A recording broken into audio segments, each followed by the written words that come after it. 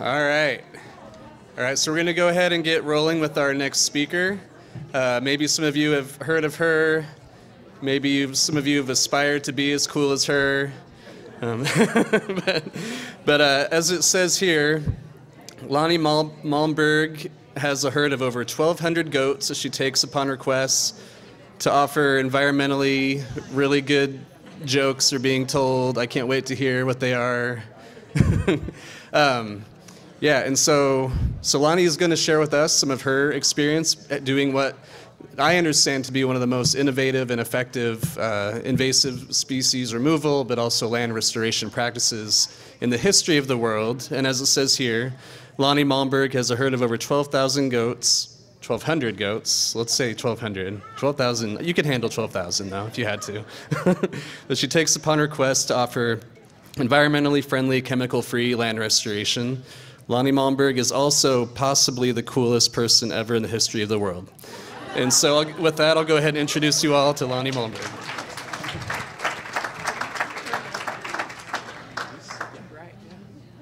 Boy, I think Brett just made that up, but that's really cool. This is how I usually work and how I dress. I have wear boots and jeans and a hat, and now it's summertime, so I have a great big hat to keep the sun off me. But when I come to town, when I come to Rome and try and act like the Romans, and I want to dress like city folk, I got these pointy red shoes. and to me, this is fashion, and it's really fun to get to wear some fashion. So, first of all, um, how did we get here? Well, I'm going to go all the way back, and all of us keep saying the same things of how did we get here? How did this start? But I'm going to go back about 10,000 years. Y'all know what was the first domesticated animal? Goat. Yep, that's right. 18th, 19th century, the Industrial Revolution. And then 1930, the Great Depression. The people who lived through the Great Depression, my grandparents, my folks, was so powerful on them and they never forgot it. So me being the first generation out, I was taught lots of things. I didn't live in the Great Depression, but I was taught so many things you'd have thought I did.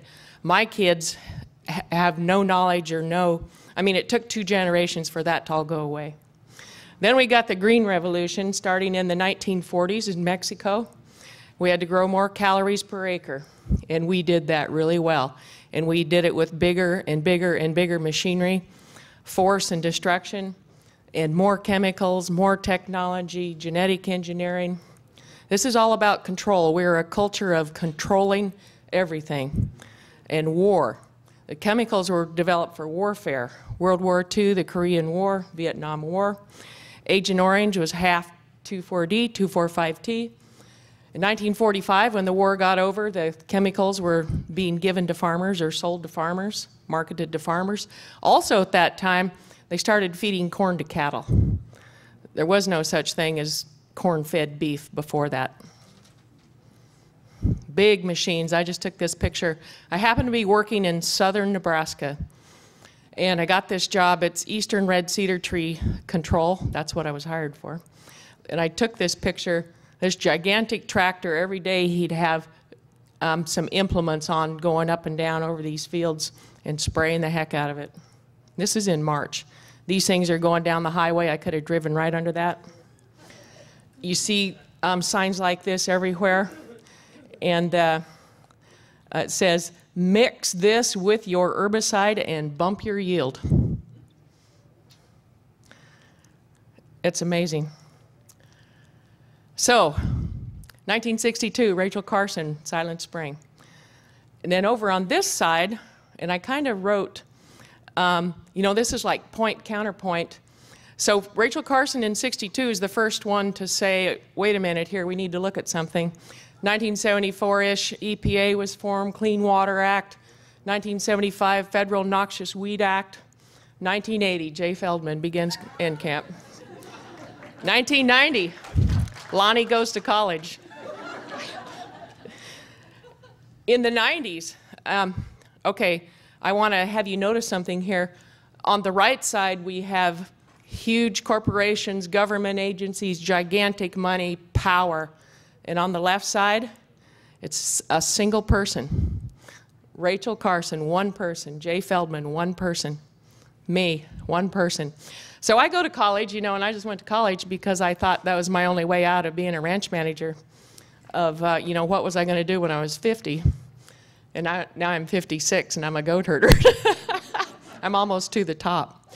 So, but when I was in college at Colorado State University, and I'd called around trying to find information on Russian knapweed, couldn't find anything. And I got a hold of George Beck at CSU and uh, I was asking him about Russian knapweed. And I said, Oh, by the way, is there a, a program there I could study Russian knapweed and get a master's on it? And he said, I can't believe you asked me that. I have a program, I have a stipend, I have no student. Do you want it? And I said, Yeah, I'll take it. I said, What do I get? And he said, You get a master's in weed science. And I said, I never heard of it, but I really need that stipend because I have. have two little boys to raise as a single mother, and I got to have the stipend. So I took it, and that's how I got a master's in weed science. While I was there, while I was there, I was the only one in the department. First of all, I was 36. Everybody else was 20. And I was a ranch girl and a cowgirl. And uh, everyone else was really smart, and everyone else was funded by a chemical company except me. I got a thousand a month, my stipend. I had to pay my own books, uh, tuition fees, everything. All the chemical funded students got everything paid for and 30,000 a year. They all had DuPont caps, coats, wined and dined, three boxes of donuts every Monday morning in the lab. And that was my first notice of when you do research and it's funded by a chemical company, what do you do? You do the question they give you. When you do research, you, your only job is to answer the question. So, what is the question? So the question was, how much should we use? It was not, is this the best way to control Russian knapweed? That wasn't the question. How much should we use? Pint to the acre, quart to the acre, should we spray it in the spring or fall or both?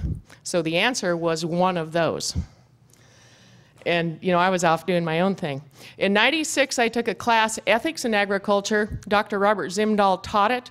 It was the second one in the country. There was only one other one at Cornell who taught ethics in agriculture and Zimdahl brought this one in so I had ethics in agriculture and we used to sit around and talk, well, okay, chemical companies fund you guys, us. What do you do? If you don't take their money, nobody's in school. What do we do? take their money and go to school, or nobody goes to school. So, anyway, then we get into genetic engineering, and the seed companies are all bought up by the giant chemical companies. And then we start getting patents on the hybrid seeds. And then there's things like FQPA, and, and then, oh, I want to mention this EPA stands for Environmental Protection Agency. Isn't that something? So, So anyway, 99, President Clinton signs its executive order. Oh, now I got to jump over here. When it, the research and then the landowner or land manager, when they call for help on, I got this Russian knapweed in my horse pasture, what do I do? They call consultants, experts, county extension agents, and the county weed person. And those guys pull from the research and you know the knowledge that's out there, and it's only here is about spraying, and it's the not what is the best thing to spray for, or do about Russian knapweed. It's how much should I spray, and which one.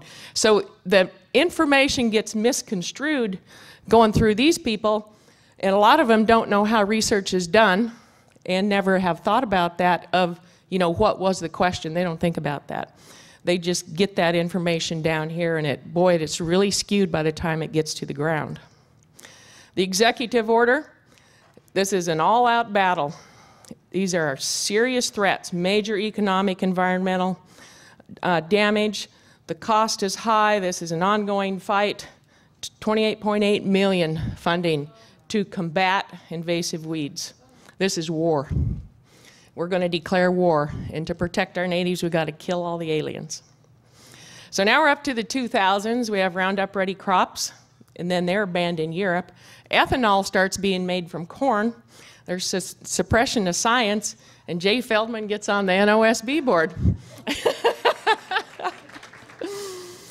and then uh, we have uh, this science is being suppressed. We have activist scientists, and we have brilliant people like Terry Shistar, my dear friend, who is a brilliant scientist, helping Jay get all this information where it's supposed to be. So now the Farm Bill just gets signed, and I'm in farm country now because I have my goats in Nebraska, and they're not going to have subsidies given to the farmer now. It's going to the insurance company. I couldn't even believe it, could not believe it. So I looked up a few facts here. Nebraska, in that acres they have, they they uh, grow about a trillion bushels of corn, 98% of it is GE. Nebraska just passed Texas to be the number one cattle feeding state. That shocked me. In 1900, Nebraska grew corn at 26 bushels to the acre. In 09, it was 178. And corn hit $7 a bushel a couple years ago, and they plowed everything a tractor could get to. Remember this from the 30s? Remember? And uh, I was so lucky to get to go see the sandhill crane migration at Kearney, Nebraska. 600,000 sandhill cranes. 60% of the world's population comes through that little area on the North Platte River, and they stop and eat and rest so they can fly on to Wisconsin and Canada. And they're eating all GE corn. These signs, these insurance companies are huge. There's my cranes. And they're they're beautiful birds, and these are 10 million years old. That's what they say anyway. So there's a close-up of them. And they stand about almost five feet tall. And uh, they have this red on their head. And uh, they fly on to Wisconsin, where at some point in time, I suppose the natives up in Wisconsin, they called them the, um, or, or the cranes, they called them cranes, but they were coming to the fields in Wisconsin to eat these berries, and the plants with the blooms of these little red berries looked just like a crane's head, so they called them craneberries. And then they dropped the E, and now those are cranberries, and that's how they got their name. I thought that was really cool. I took half my time, huh, Jay? so here I am in Nebraska, and there are my goats, and see this cornfield? They plow everything and put a pivot on it. Here's a pivot, and this is all cornfields. It's plowed for miles and miles and miles. And these are hills. These are rolling hills that shouldn't be plowed. So I took a, a class with some of Brett's elders this past summer, and he told me that Mother Earth is not happy, and she is pushing back. And he predicted at the beginning of last spring, a year ago, he said, Mother Nature's not happy. She's pushing back, and you're going to see violence in fire, water, air, in the earth earthquakes, fires, floods, and uh, tornadoes and hurricanes. And boy, did I see that. And we out, we and the goats, we outran fires and floods all year doing our summer work.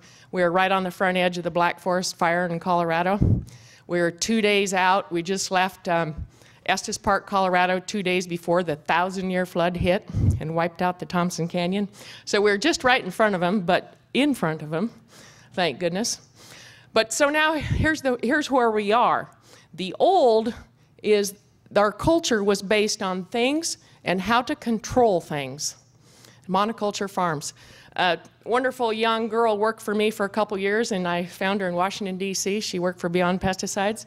Worked for me two years, and she said, The biggest thing I learned from you and these goats is control is an illusion. There's nothing like a herd of goats to teach you that. So now here we are with the new, oops, I'm sorry, the new, where now we're moving into the cultures based on people and holistic things. We're going to work with nature. We want biodiversity, not these monocultures, and the rising awareness. And everybody's looking to the future. The young staff of Beyond Pesticides, I don't know who's all in the room right now, but I applaud you. These are the most wonderful young people. They do great work, and they're fabulous, and they are. Yes, please.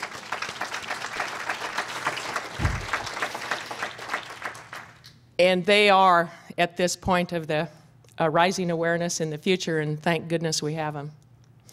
So, what I did when I got out of college, same thing all of you guys I'm sure would do, is went out and bought 100 goats. And I started a business. So, I have living machines. And I manage these goats to get a goal done on whatever land I'm working on. And I thought, this is great. You know, I got out in 97.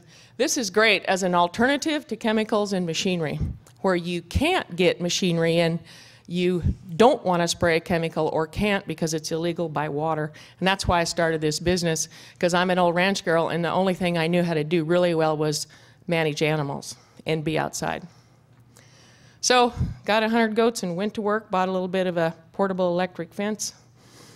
So, what I do is land restoration, but this is a huge paradigm shift of all those things I just showed you about not controlling anything and trying to bolster this system um, build the nutrition, nurture the soil. It's all about soil. I have to feed the system. I have to recycle this stuff. I don't care if they're weeds, you know, I don't care what they are. I just want to have the goats eat them and recycle them, re release all those nutrients, build the soil organic matter, hold the water in place, keep it all there, keep it clean. I want to, to feed these things starting in the, in the soil and way through to the people and I'm going to add all these things. I'm not going to kill anything. I'm going to add, add, add. Vitality, vigor, joy. There's nothing like a bunch of baby goats playing on a rock or whatever they find to stand on that is really joyful. It's pure joy. A, bo a border collie chasing a stick is pure joy. So I'm just going to recycle these natural resources and get this energy flow going. I'm going to recycle this problem to cash.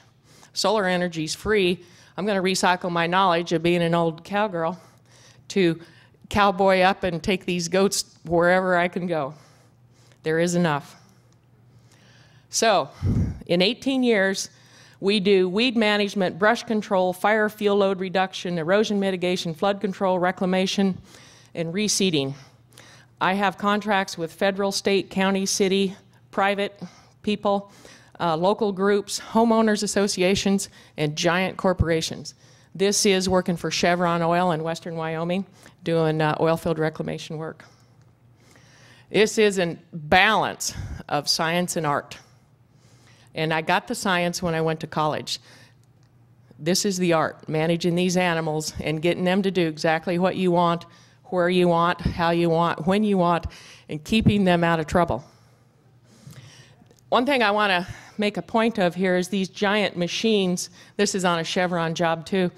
And uh, they had 60 acres on the north and they had all these machines. And then I had 60 acres on the south. I said, you know, one of those giant earth moving scrapers they use for construction. I went and asked those guys, I said, how much does that machine weigh? It was the biggest one. He said 120,000 pounds, or uh, 80,000 pounds. So the biggest machine they had there weighed 80,000 pounds. This herd right here weighs 150,000 pounds, and it's alive. It's living. It's recycling everything it eats. It's pooping, it's peeing. There's about 1,500, that's 6,000 hooves working the earth as they go, and they're self-propelled. That's it. One-stop shopping. We do it all. I'm doing 12 things at the same time. I just hate it when people say, you're too expensive. And, and I say, well, no, I'm not. They said, well, I can buy a of Tordon for $70. And I said, first of all, you can't compare what I do. I'm doing 12 things. I'm healing this system. You're doing only one step and you're causing about a billion dollars per acre worth of damage that might take 50 or 100 years to correct. I'm doing it all at the same time. And goats are so fascinating. First of all, they're really smart and they have all these skills that no other grazing animals do. But I, always say the goats, you know, weeds are really smart. The weeds are smarter than the, the desired plants usually. And goats are the only thing smarter than a weed. But the only thing smarter than a goat is a border collie. That's the only thing. And people, and I accept my position, are, I believe people are about eighth, maybe on a good day, right under bacteria. Goats climb trees. They climb these oil tanks. They run up and down these steps and play, and every goat will be on his own step. Whoops. Um, I work where there are endangered species. These are the western sage grouse, where great sage grouse babies, first time seen in 10 years in an oil field I work in, and it's where the cattle have been kept out because there's been no water for three years. And the goats have been in trouble because they they always went over here to this place where we weren't supposed to be. Cattle rancher was furious. He went to BLM and tried to get the environmental assessment jerked so we couldn't work there anymore. And now showed up these baby sage grouse that haven't been seen in 10 years. That's where the goats were running to, where we're always in trouble. Goats stand on their hind legs. When I do fire fuel load mitigation, and these are my big wethers. Wether, a wether is a neutered male. When they stand on their hind legs, they can reach about nine feet up. So I want these big boys, and they strip everything nine feet all the way to the ground, and it's all recycled right in place, and that's the best fire mitigation. They're easy to move. You can put them onto a semi. I prefer walking across the country, but I haven't done that yet. I do walk, you know, like 20 or 30 miles. But if I have to go 600 miles, we, we do these four deck semis.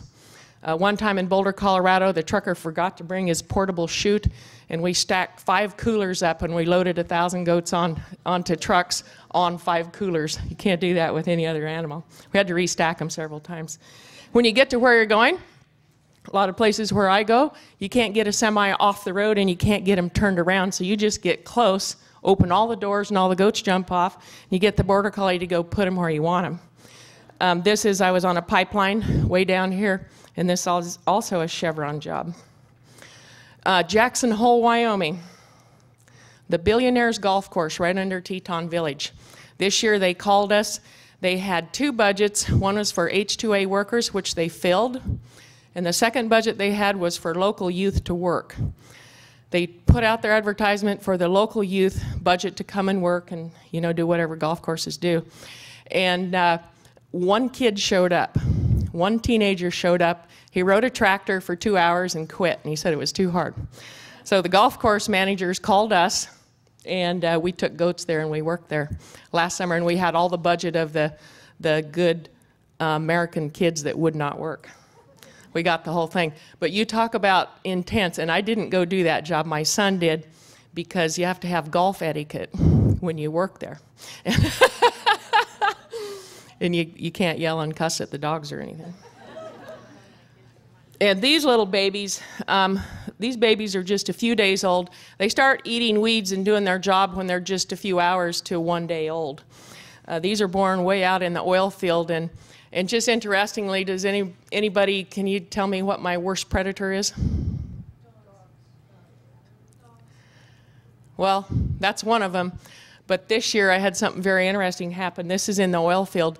And this is like six million acres of unfenced land. It's called the Red Desert in Wyoming.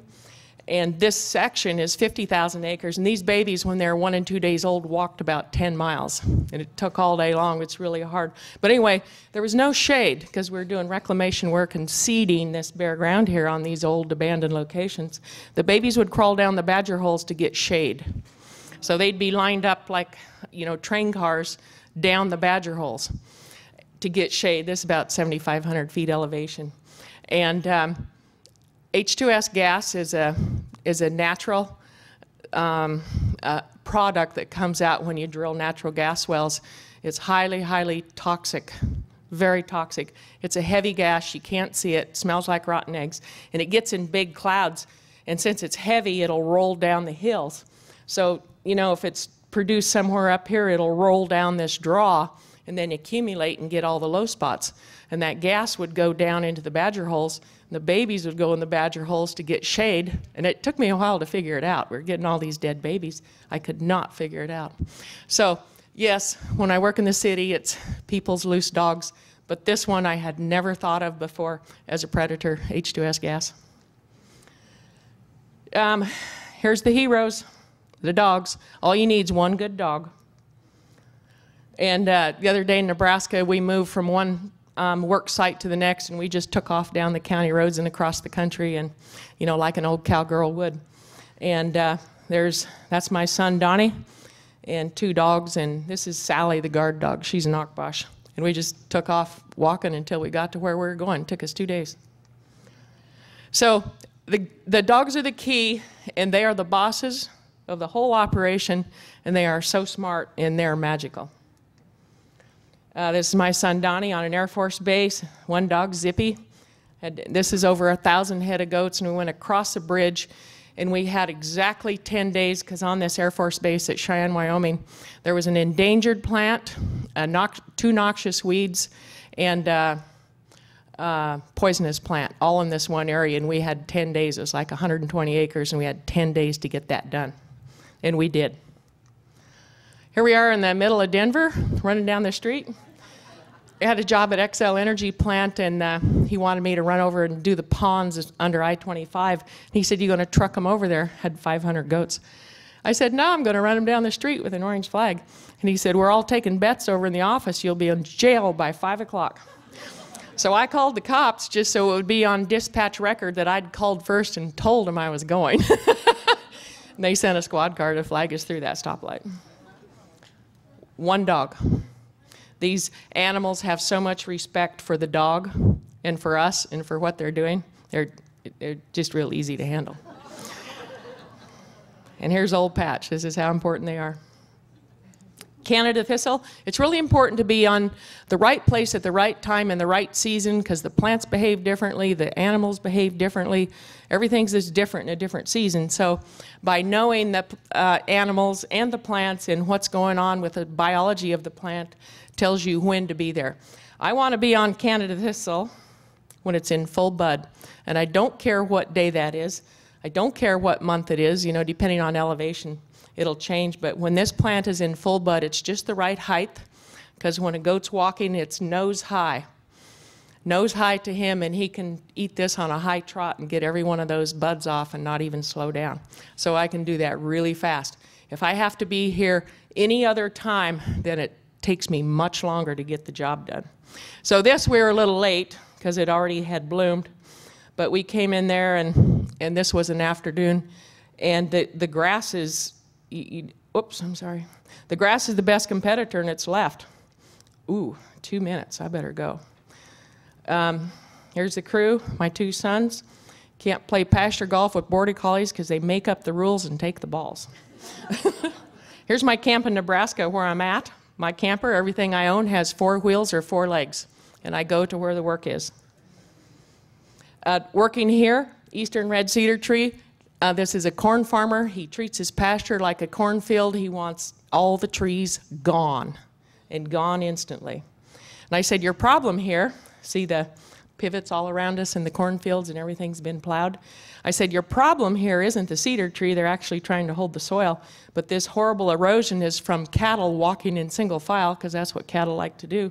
They're big and heavy, they walk single file and they make these cow trails and then it washes down and all your water is shooting off here and making these horrible head cuts. That's your number one problem. Your second problem is you have no diversity in this pasture. I can't find any broadleafs except musk thistle, which he hates that too. And he sprayed chaparral herbicide out of an airplane last year and there are no broadleafs. I said, you have no diversity. You have the poorest quality grass for cattle. In a monoculture here, you have no broadleafs and you killed them all and this erosion is your trouble. No cow pies are broken down. I said, you have no life here. No insects are alive, no nutrients are being recycled. If I kick that cow pie over, it's all dead underneath. I said, there's nothing alive here. I have to bring this back to life with my living animals. Uh, this is a place where they, they were really proud that they spot sprayed musk thistle. So this musk thistle turned brown and fell over. And I said, why is this three foot area around here dead? I said, did you use that same chaparral herbicide and you, did you um, calibrate the equipment? I said, oh no, we used the death mix on that one, by God. You have to feed the system, build diversity and stability. Cows walk in single file. The cow trails that they make like that. So I take 1,100 goats and I walk perpendicular to all the trails that the cows have made to try and get this system, undo these lines. Uh, this is some horrible erosion. Uh, we put them in here for night, three nights in a row. There's day one. Also, cows can't walk on 90 degree cliffs and there's nothing growing there. Day one, day two, day three. It's 30 below zero right here, and I'm reshaping the landscape with this herd. That's another view. And again, day one, day two, day three. and trying to mellow off this steep erosion and this sharp head cut and mellow this back such that now it's a 40 degree angle and uh, it's got all that organic matter tromped in the soil. Now I can stop the water. I just have to, uh, Brett's telling me it's zero. So I'm going to zoom to the one slide I want to leave you with.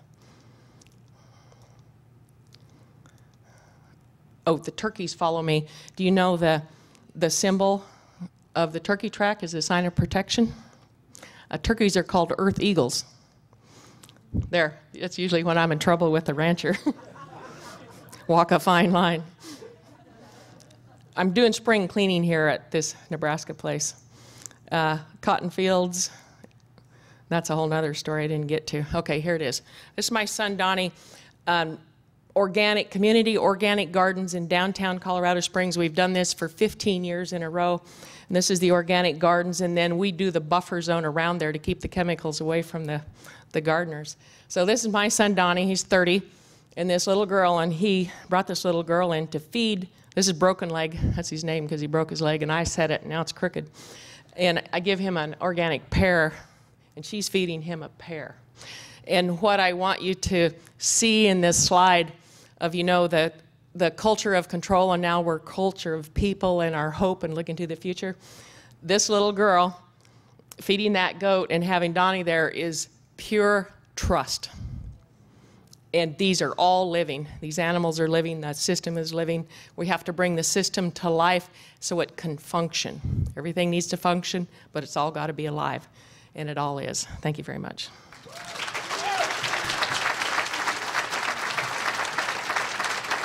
You like my shoes?